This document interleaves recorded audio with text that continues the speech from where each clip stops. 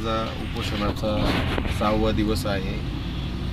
पहिल्या दिवसापासून या ठिकाणी उपोषणाला सुरुवात करण्यापासून कारखान्याने मला खूप त्रास दिला. मला जागा मिळू नये म्हणून रस्त्याच्या हातीमध्ये त्या ठिकाणी टायर गाड्या उभ्या केल्या. कसं बसं भांडून पोलिसांची उजत घालून आम्ही आडगळीच्या ठिकाणी एक छोटीशी जागा मिळवली तिथं आम्ही आमचा टेंट या ठिकाणी ठोकलेला आहे. या ठिकाणी एवढं प्रचंड मच्छर असतं. की रात्री एक मिनिटसुद्धा कुणी थांबू शकणार नाही. एवढं प्रचंड मच्छर या ठिकाणी चावतंय. मला वॉशरूमला लघवीला पाणी पिल्यामुळं जायला लागतं. त्या ठिकाणी वॉशरूमची सुद्धा व्यवस्था नाही. रस्ता क्रॉस करावा लागतोय. आज थकवा माझ्या शरीरामध्ये आहे. असं असतानासुद्धा मला कुठली सुविधा या ठिकाणी नाही. अंधारामध्ये आम्ही बसतोय. इथं लाईटसुद्धा नाही. अशा अवस्थेमध्ये आज आम्ही या ठिकाणी उपोषण करतोय. माझी सर्व शेतकऱ्यांना विनंती आहे की मी आज माझं कुटुंब खाऊन पिऊन सुखी आहे सुस्थितीमध्ये आहे. माझं ऊसाचं एक टिपूसुद्धा या कारखान्याला नाही. परंतु ज्या शेतकऱ्यांसाठी मी गेले अनेक वर्षापासून काम करतोय स्वाभिमानी शेतकरी संघटना राजू शेट्टी साहेबांमुळेच आपल्याला माहिती आहे की आज ऊसाला जो काही दर मिळतो आहे आज त्यांचीच कृपा आहे. एफ आर पीचा कायदा त्यांच्यामुळेच झाला आहे दरवर्षी आपली संघटना ही शेतकऱ्यांसाठी ऊसाच्या दरासाठी भांडत असते. आज माझी परिस्थिती खूप खालावलेली आहे. शेतकऱ्यांची माझी तब्येत खूप खालावलेली आहे. शेतकऱ्यांना सगळ्याच बाजूनी सरकार अडचणीमध्ये टाकते. कांद्यावर निर्यात बंदी लादते. टोमॅटोचे भाव पडलेले आहे. गव्हावर निर्यात बंदी लादली. सोयाबीनचे भाव पाडले. दुधाला तीन पाच आठ पाचला चौतीस रुपये दर देतो म्हणाले. परंतु आज बत्तीस रुपये तीन पाच आठ पाचला संघसुद्धा पराग डेअरीसुद्धा त्या ठिकाणी दर देते. शासनाचा हा निर्णयसुद्धा सगळ्यांनी पायदळी तुडवलेला आहे. सगळ्या बाजूनी शेतकऱ्यांचं शोषण होतं ऊसाच्या बाबतीत तरी आम्हाला वाटतं की बा शेतकऱ्यांना यावर्षी चांगले पैसे मिळण्याची परिस्थिती आहे. तर त्याबाबतसुद्धा गेल्या वर्षीच्या हंगामाचे पैसे मागण्यासाठी आज आम्ही हे उपोषण करतोय. त्या ठिकाणी सुद्धा ऊस साखर सम्राट शेतकऱ्यांना लुटून खात आहेत. माझं हे आंदोलन कुठल्या व्यक्तीच्या विरोधामध्ये नाही. पण ज्या शेतकऱ्यांनी घाम गाळलाय कष्ट केले त्यांना त्यांच्या हक्काचे पैसे मिळाले पाहिजे याच्यासाठी हे माझं आंदोलन आहे. आणि आता काल जो निर्णय घेतलाय मुख्यमंत्री असतील किंवा सहकार मंत्री असतील उपमुख्यमंत्री असतील की आता यावर्षी दुष्काळी परिस्थिती आहे.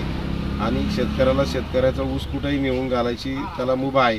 तुम्ही एकीकडं ह्या राज्यातले कारखाने शेतकऱ्यांना चांगला दर देत नाहीत. आणि दुसऱ्या बाजूनी पर राज्यामध्ये त्या ठिकाणी हा ऊस आम्हाला नेऊ द्यायचा नाही. असं जे बंधन घातलंय झोनबंदीचा निर्णय मनोहर जोशी साहेबांनी मुख्यमंत्री असताना त्या ठिकाणी उठवला होता झोनबंदीचा. परंतु आता पुन्हा या सरकारने झोनबंदी लादलेली आहे. आमचा ऊस आम्ही कुठेही नेऊ शकतो. या ठिकाणी शेतकऱ्यांना तुम्ही दडपशाही करू शकत नाही.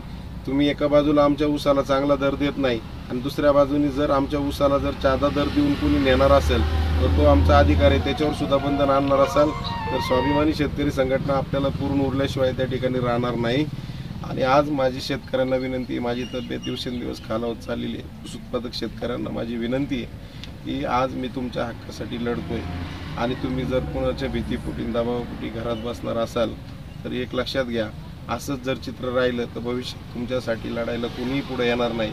माझी तुम्हाला कळकळीची विनंती आहे. की माझ्या आंदोलनाला पाठिंबा देण्यासाठी आपण या ठिकाणी यावं. आणि सगळ्यात महत्त्वाची गोष्ट सोमवारी शेतकऱ्यांनी उत्स्फूर्तपणे मनसरला अकरा वाजता जे काही रास्ता रोको आंदोलन पुकारलेलं आहे माझ्या उपोषणाला पाठिंबा देण्यासाठी त्या आंदोलनामध्ये ऊस उत्पादक शेतकऱ्यांनी जास्तीत जास्त संख्येनं सहभागी व्हावं अशी माझी सगळ्या शेतकऱ्यांना विनंती. बाबांनो मी तुमच्या हक्कासाठी लढतोय. तुमच्या मुलाबाळांचं पुढच्या भविष्याचा विचार करा. कारण आपण जर असंच बघ बघ्याची भूमिका घेत राहिलो तर मग मात्र तुमच्यासाठी लढायला कुणी पुढे येणार नाही.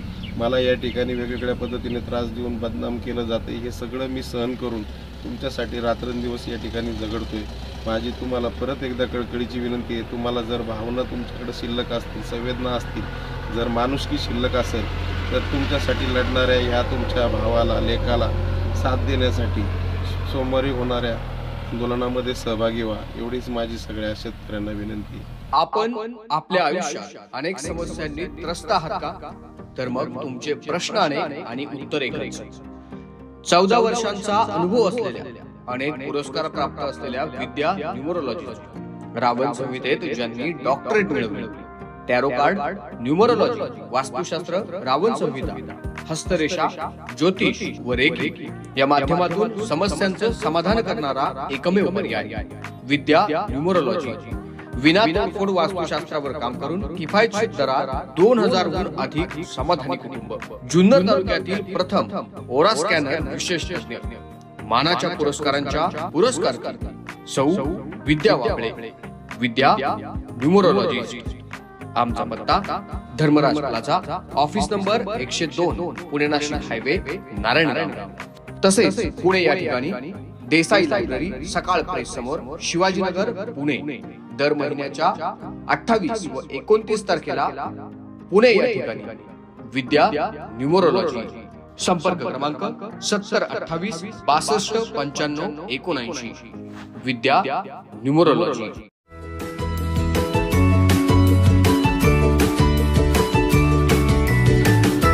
बातम्या शेतीच्या. बातम्या मातीच्या. बातम्या अन्यायाच्या. गुन्हेगारीच्या.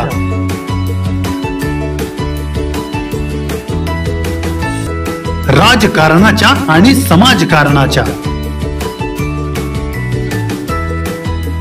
शोषणाविरुद्ध बुलंद आवाज जनसामान्यांच्या हुंकाराची गाज. सत्कार्याला प्रोत्साहन. दुष्कृत्याला अनुशासन.